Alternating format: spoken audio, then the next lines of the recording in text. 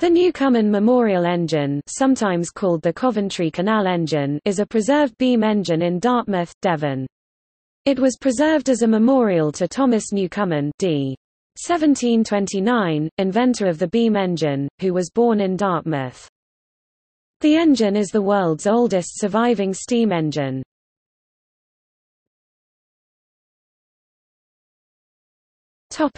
The engine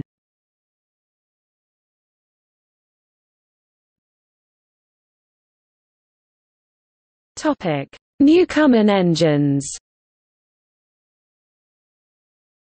Newcomen's first successful engine is considered to be the Dudley Castle engine of 1712. Newcomen engines were used for applications that required the raising of water, such as the draining of coal mines. These fire engines became popular for mining and 104 were in use by 1733, eventually over 2,000 of them were installed.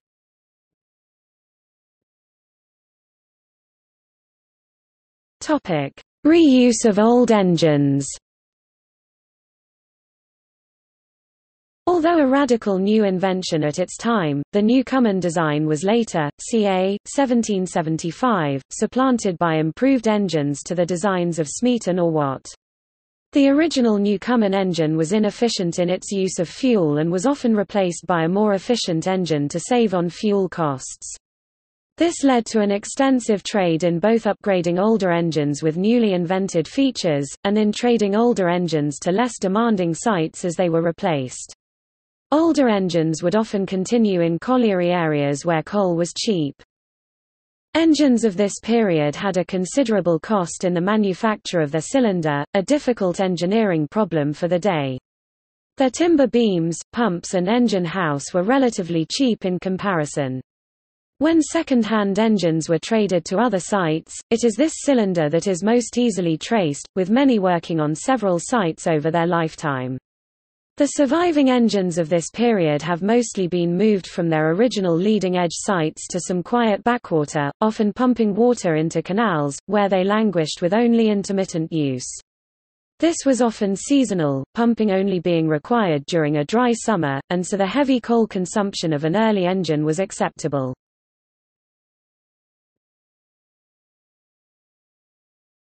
Topic: Griff Colliery. The early history of this engine is unclear but it was built some time around the start of the 18th century. Newcomen constructed an engine for Griff Colliery near Nuneaton in 1714, "...to draw water by the impellant force of fire." The first engine was to be capable of pumping 16,700 litres of water per hour from the mine, with a maximum depth of 140 feet 43 meters. This first engine was working by 1715. It had a copper boiler, a brass steam barrel cylinder and piston, two pit barrels of pot metal cast iron and other pipes cisterns and appurtenances thereto belonging.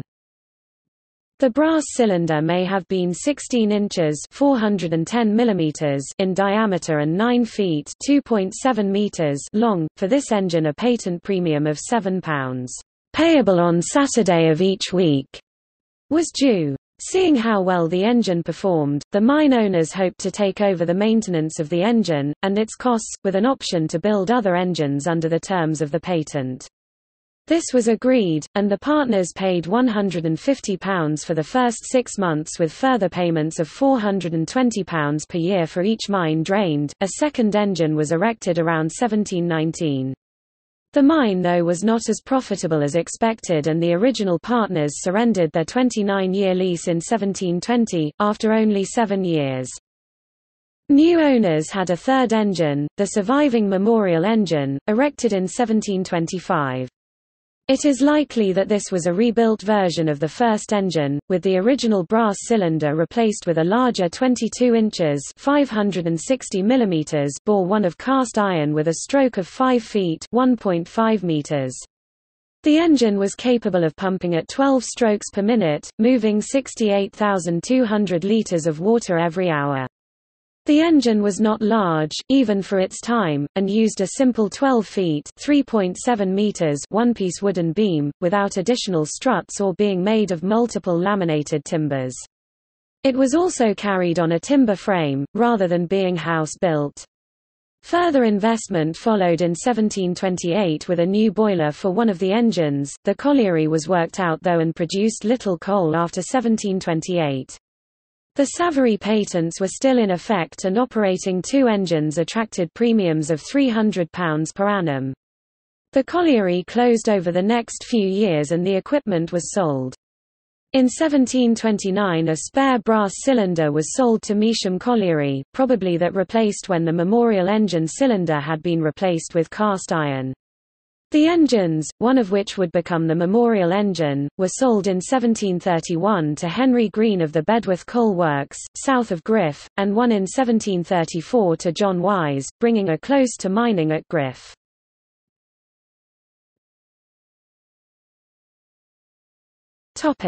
Oakthorpe Colliery Details of the engine's longest period of service, nearly a century, are uncertain. It seems to have been the later engine sold from Griff in 1734 to John Wise, who was the owner of Oakthorpe Colliery at Measham. Joseph Wilkes would later own the colliery, and its engines. Topic rebuilding A second rebuilding, or more, took place during this service.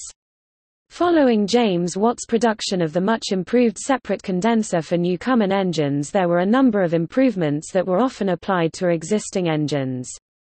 The most important of these was the pickle pot condenser, a device with the advantages of the separate condenser yet avoiding, barely, the Watt patent.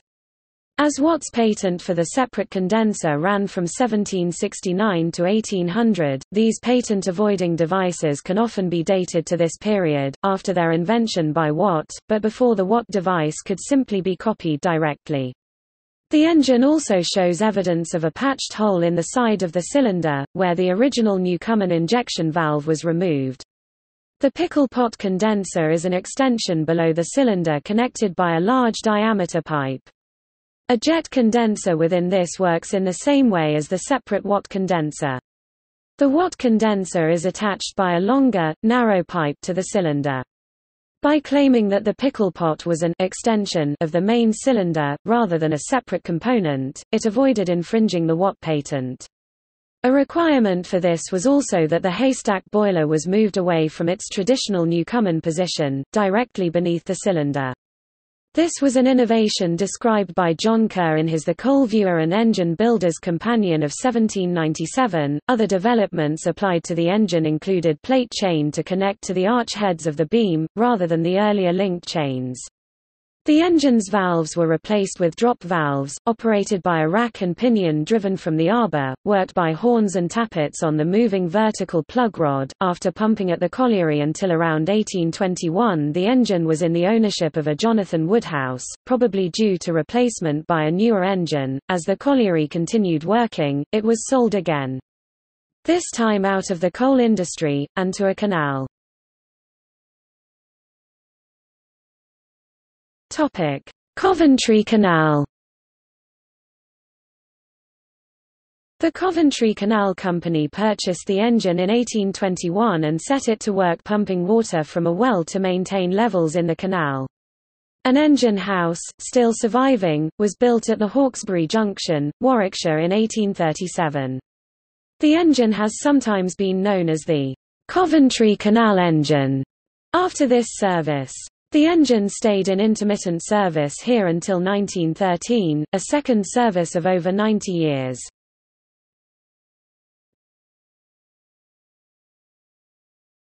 Topic: Preservation.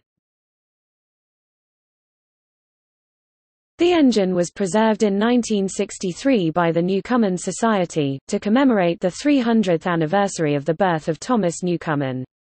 It was moved to his birthplace in Dartmouth and re-erected in a new museum there, known as the Newcomen Engine House.